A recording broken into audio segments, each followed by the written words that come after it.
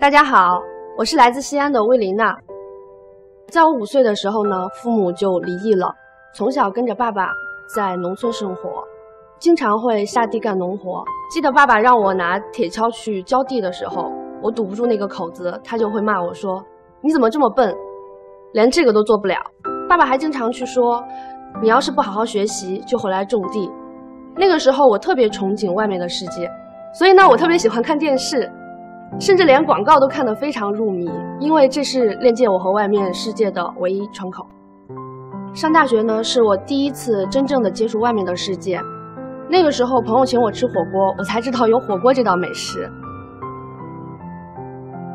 那大学的时候，爸爸一个月只给我三百元的生活费，我就会去批发手机链、太阳伞去赚钱。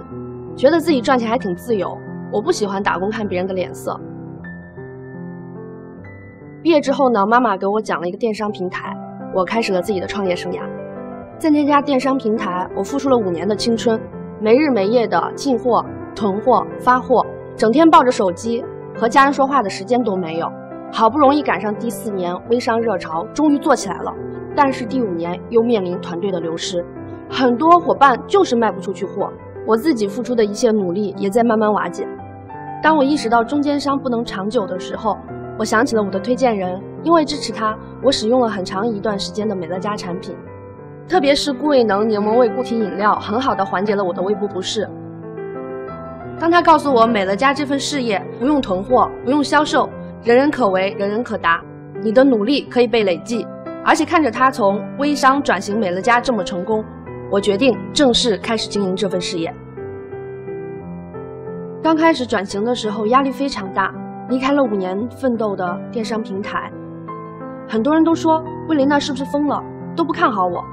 为了争这口气，我全身心扑在了美乐家的事业上，甚至刚开始的时候，每天只睡两三个小时，其余时间都用在了经营。那段时间，我每时每刻都在增加新顾客的名单，持续邀约。我并没有主动的借助以前电商平台的任何资源，完全彻底的归零，不断的努力让我把这份事业做了起来，同时在推荐人和业务辅导的帮助下，做好开箱跟进，不断的培育低，让我一路坚持达成了一滴八。其实以前我的性格很悲观，不太愿意跟别人讲我是离异家庭的小孩，跟爸爸妈妈的家庭沟通都比较少，只和奶奶亲。有时候在想，如果奶奶不在了。这个世界上只剩我一个人怎么办？我就会躲在被窝里面悄悄哭。但经营美乐家之后，我发现我的性格越来越乐观了。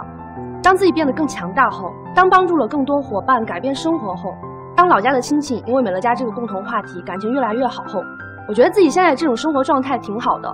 有两个爸爸妈妈疼，还有这么多志同道合的伙伴一起奋斗。现在的我有能力把两个家庭都照顾得非常好。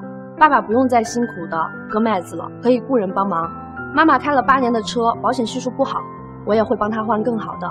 奶奶每天使用美乐家鱼油软胶囊和护心怡纳豆软胶囊，过着健康的晚年生活。不管你的出身背景、环境是什么样子，在美乐家这么好的平台，就像我这样，只要通过努力和坚持，完全可以实现自己想要的生活。现在的我不会停下努力的脚步。因为还有那么多的伙伴需要我的帮助，我要带领大家一起梦想成真。